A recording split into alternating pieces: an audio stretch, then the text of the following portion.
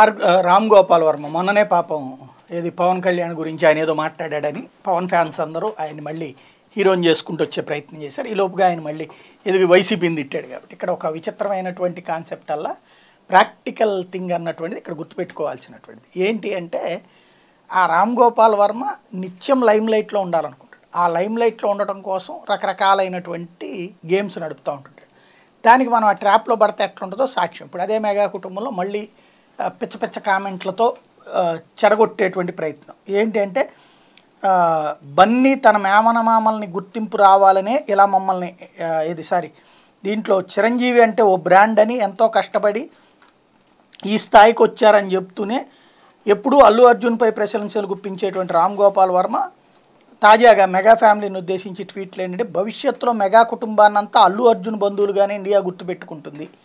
ఇది ఈయన వాడిన పదం. మెగా కుటుంబానికి నేరుగా రక్త సంబంధం లేకపోయినప్పటికీ మెగా కాంపౌండ్లో అల్లు అర్జున్ ఒక్కడే మెగాస్టార్. భవిష్యత్తులో అల్లు అర్జున్ ఓ మెగాస్టార్ అవుతాడు. మోడర్న్ మోడ్రన్ డ్రెస్సుల్లో అల్లు అర్జున్ రజనీకాంత్ కంటే పది రెట్లు ఎక్కువ. మెగా ఫ్యామిలీలో అర్జున్ అల్లు అర్జున్తో ఎవరిని పోల్చలేము. ఇవి ఆర్జీవీ చేసినటువంటి ట్వీట్లకు సంబంధించినటువంటి కొన్ని. భవిష్యత్తులో అల్లు అర్జున్ మెగాస్టార్ అవుతాడు. ఈ పాయింట్లన్నీ తప్పేం లేదు. కానీ ఇక్కడ మెగా కుటుంబం ఆయన మా- మేనమావలు ఇప్పుడు చిరంజీవి పవన్ కళ్యాణ్ రామ్ చరణ్ ఎవరు తక్కువ ఉన్నారు వాళ్ళల్లో? అందరూ ఎవరి స్థాయిలో వాళ్ళే కదా అందరూ సూపర్ హిట్లే కదా.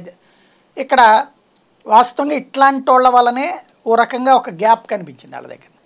ఆ గ్యాప్ని క్రియేట్ చేసేటువంటి మెంటాలిటీ. దీనికే చివరికి ఇట్లాంటి వ్యవహారాల నేపథ్యంలో అందులో ఈ మధ్యన కొంతమంది వీళ్ళిద్దరి మధ్యన గ్యాప్ సృష్టించేటువంటి సందర్భంలో పుష్ప సినిమాతో మొత్తం శెట్టి మీడియా టైం లైమ్లైట్లోకి వస్తే ఈ బ్యానర్ని ఏర్పాటు చేసింది అల్లు అర్జున్ మేనమామలు.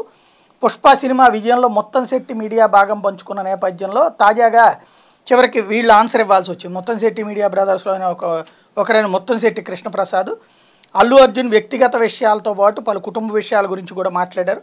మెగా ఫ్యామిలీకి అల్లు ఫ్యామిలీకి మధ్య గ్యాప్ క్రియేట్ అయింది. అందుకే మొత్తం శెట్టి మీడియా మొత్తం శెట్టి బ్రదర్స్ నిర్మాతలుగా లైమ్ లైట్లోకి వచ్చారంటూ వినిపించినటువంటి టాక్లో నిజమెంత అంటే నూటికి నూరు శాతం అది అబద్ధం అని చెప్తూనే కాస్త ఘాటుగానే స్పందించారు. బన్నీ తన మేనమామలకు గుర్తింపు రావాలని ఇట్లా మమ్మల్ని ఇంట్రడ్యూస్ చేశారు తప్ప బయట జనం మాట్లాడుకుంటున్న దానికి మా ఎంట్రీకి ఎట్లాంటి సంబంధం లేదు.